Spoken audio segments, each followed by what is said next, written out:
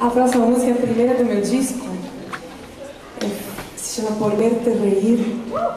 É uma homenagem à amizade. Muito bom ter amigos, né? Obrigada por terem vindo. Vocês são nossos amigos. Sim.